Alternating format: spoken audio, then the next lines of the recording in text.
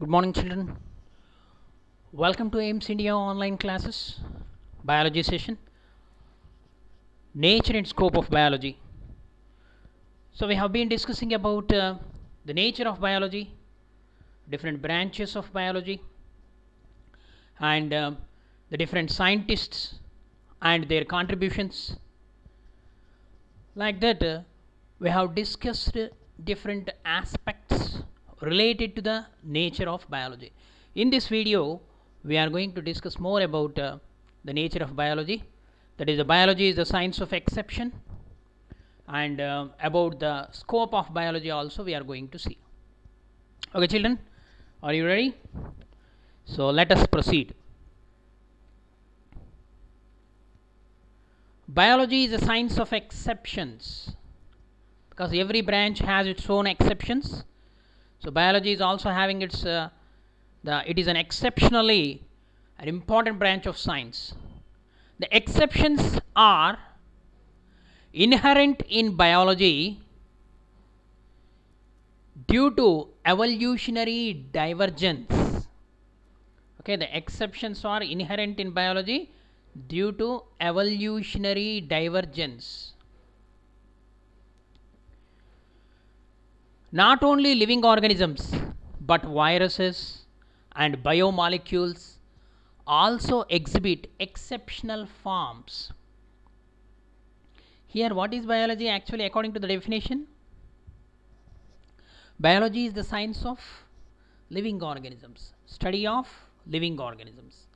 So, but viruses and uh, these uh, biomolecules mean some of the non-living aspects are also we are going to study. So that's why it is an exceptional forms.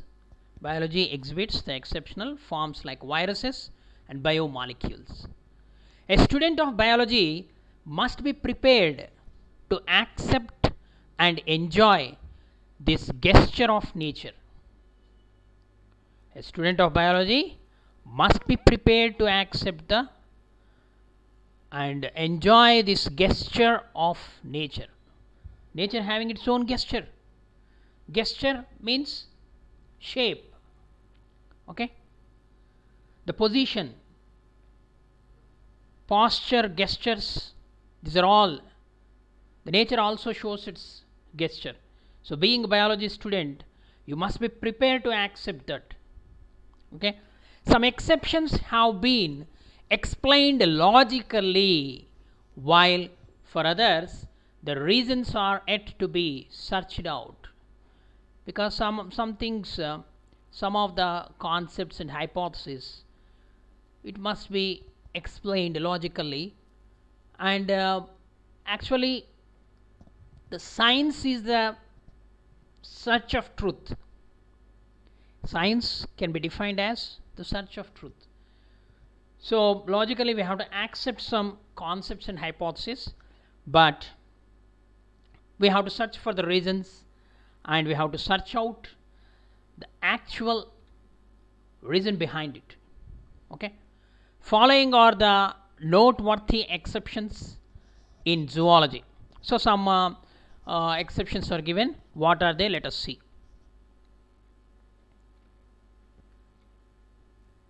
First, Mammals are usually terrestrial, fossorial or arboreal, but bat is only flying and whale and seals are aquatic mammals.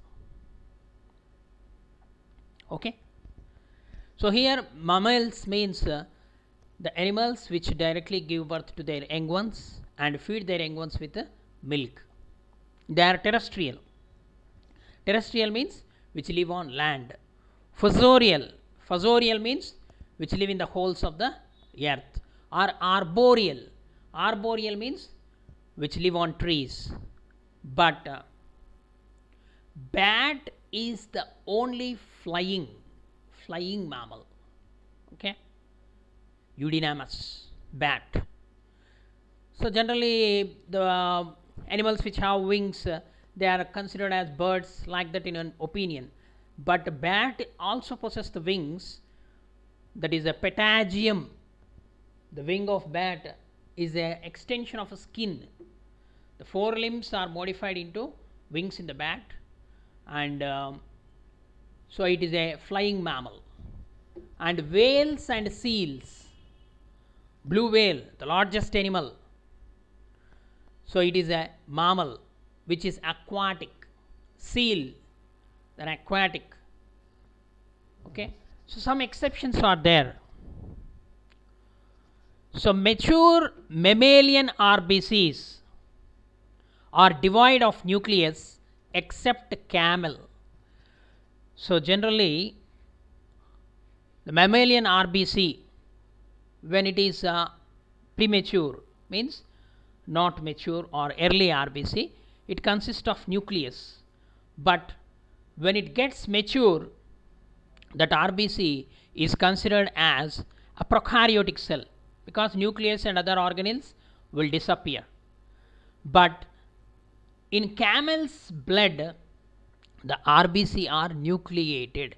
Nucleated rbc are present in the camel and lamba okay. so this is an exception next. The aquatic stage of some salamanders. Salamanders are amphibians which live on land and in water. Okay? Some salamanders like uh, Ambystoma is able to reproduce pedogenesis and attain sexual maturity. Means Ambystoma larva itself gets the ability to reproduce. That is called pedogenesis and it attains sexual maturity. So it is called uh, the phenomenon is called neoteny neoteny. So you will study in higher classes. The total neoteny is found in necturus siren and proteus. Proteus is also an amphibian which is a blind amphibian okay which uh, dwells in the caves so aquatic larval stage of some salamanders like Ambystoma is able to reproduce. So reproducing uh, at larval stage is uh, pedogenesis and attains the sexual maturity at the larval stage. It is called as neoteny. And the total neoteny is found in some species like necturus siren and proteus. These are all uh, amphibians. Next heart is three chambered in reptiles but four chambered heart is present in the crocodiles. So ventricle is partially divided in the crocodile. So it is uh, an exception. So it is two chambered heart present in the fishes but there are three chambered heart present in uh, certain uh, fishes like uh, protopterus. It is also called a lungfish protopterus which possess lung like structures. Instead of gills uh, the protopterus is uh, possessing uh, lungs as a respiratory organ. That's why they are called lungfishes okay? Next. It is also an exception. Because what is an exception means uh, so a special feature. Okay? Generally all of the remaining uh, organisms possess one characteristic feature and one single organism in that group may possess a different characteristic feature. So that is called exceptional. Okay? Or unique feature. Biology is a science of exceptions. Under that um, zoology part we are discussing means about the animals. The dna is double stranded in all cells. And dna viruses but single stranded in bacteriophage virus. Okay dna is double stranded in all cells and dna viruses but single stranded dna is present in the bacteriophage. In the same manner in the same manner rna is a single strand generally in all cells and rna viruses but double stranded reovirus rice dwarf virus and wound tumor virus okay these viruses possess a double stranded rna okay So this uh, coronavirus also single stranded RNA virus it is. Okay. HIV virus, RNA virus. Okay. Science and technology. Discovery of radioactive isotopes enabled tracing metabolic pathways, the development of microscope and then electron microscope provided useful tools to study biology. Science and technology are combined. They cannot stay isolated. They will go with each other, these two branches science and technology. Technology, adopting technology in studying the science uh, helped in uh, deep study. For example, the discovery of electron microscope by Knoll and Ruska. Okay, it uh, changed the scenario of cell science. Okay, so that's why the different technologies like radioactive isotopes, chromatography technology, discovery of electron microscope, these are all provided the strength to the study of uh, biology, okay, living organisms. X-ray crystallography. X-ray crystallography is uh, one of the important uh, invention. It helped the study of uh, the structure of DNA without that uh, the DNA structure was a puzzle. Okay? So X-ray crystallography helped in the study of the structure of DNA structure of protein and many other biomolecules. Okay? What are biomolecules? The biomolecules are nothing but uh, the carbohydrates proteins fats amino acids uh, the proteins means amino acids uh, fatty acids means fats okay and um, RNA DNA deoxyribonucleic acid ribonucleic acid. These are all biomolecules okay? Next uh, science and technology. Biotechnology and genetic engineering these two are uh, the most uh, advanced branches of uh, the applied biology okay biotechnology and genetics genetic engineering these two are uh, the combination of different branches of biology. Okay they are fruitful due to accumulation of knowledge from different sources. It is noteworthy that while information gathered from the basic researches enriched the field of applied researches. So what i told uh, applied branches they are so without biotechnology and genetic engineering, now no medicine may be synthesized. Okay. So without biotechnology and genetic engineering, no hybrids, varieties, no advanced treatment of diseases is possible without these two technologies. Okay. So they are applied. It is noteworthy that while information gathered from the basic researches enriched the field of applied researches, the fruits of applied researches contribute to explore and widen the area of basic researches. Inventions of new technology extended new hopes and open avenues for the work and research which was not possible earlier. Okay? What is that uh, major institute? CSIR okay? Central the scientific industrial research. It is uh, located at New Delhi. So from where so many scientists come out the knowledge of the scientists flourished there sharpened there by using the different modern equipment required for the research are there. Okay? So inventions of new technology extend uh, new hopes and open avenues for the work and research which was not possible earlier. It is possible only because of the introduction of technology in the study of uh, science next.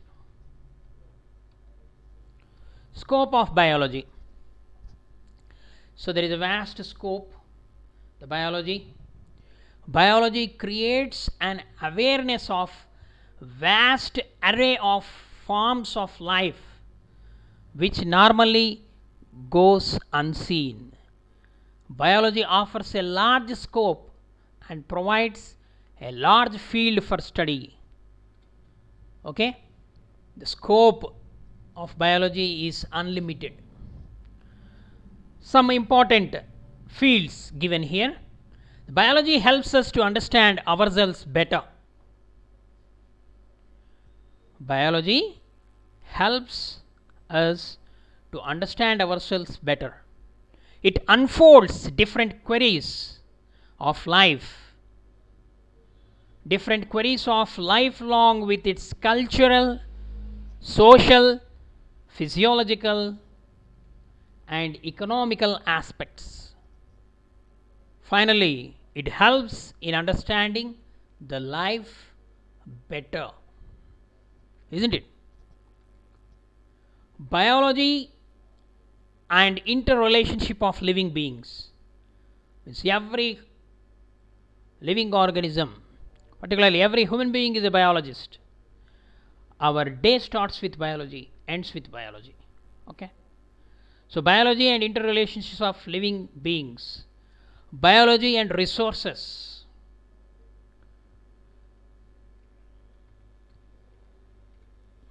next uh, biology and literature. Okay? So these are all we can't isolate uh, the biology from our day to day life. Without biology nothing is uh, done. So every day so this uh, biology plays an important role.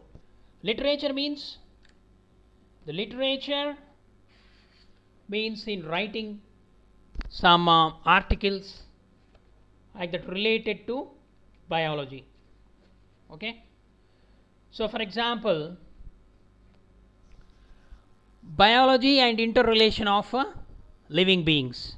The study of biology helps us in understanding the wonderful phenomenons and the laws of nature which finally tell us to predict the behavior of different living beings under changed conditions isn't it biology and resources previously. How the biology and relation to resources? Biology help us to know how to tap and conserve the resources available to us. For example birds fishes forest conservation of different animals okay different projects introduced.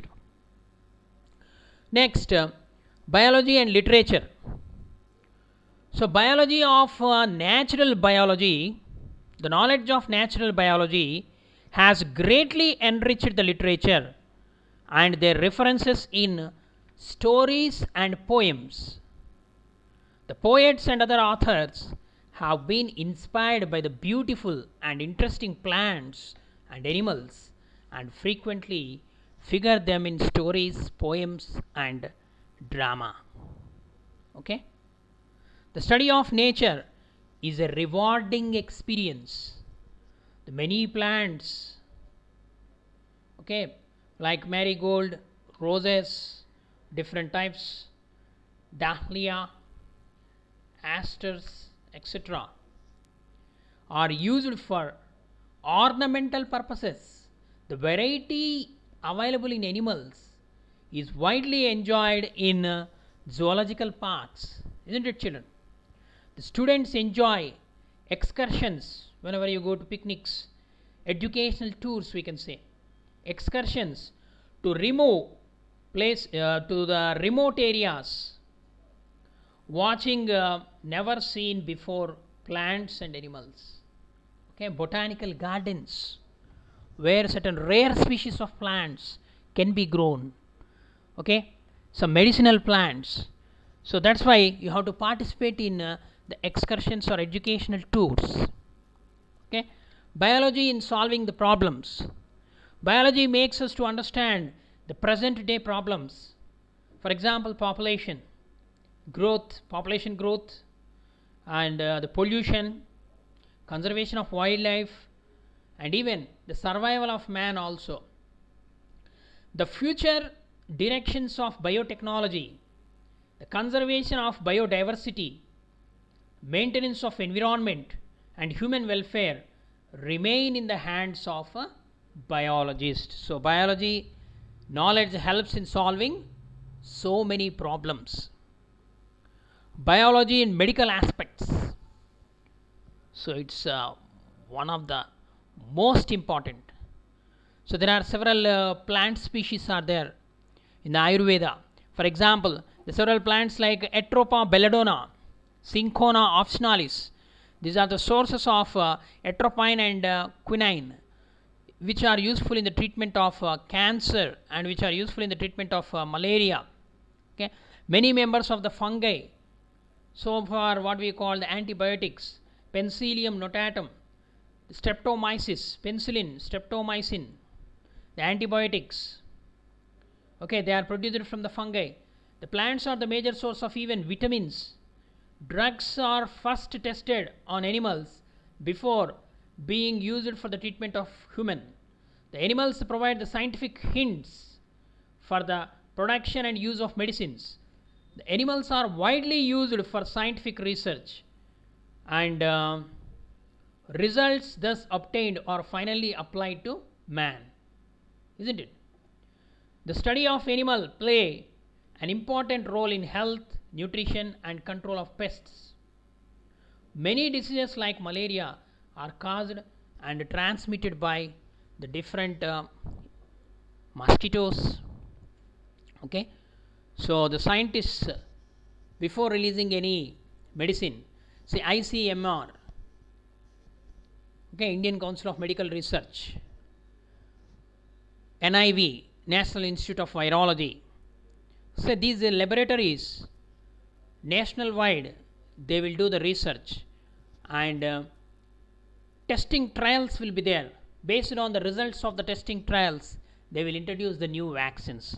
That's the reason why the vaccine for coronavirus is becoming delay because still testing trials are going on. Okay? Solving the approach of biology. Solving approach of biology the knowledge for the eradication of diseases like malaria smallpox have been achieved by scientists basically due to desire and determination to solve the problem. So scientists uh, they will sacrifice their personal life.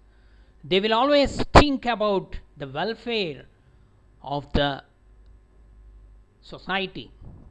Okay?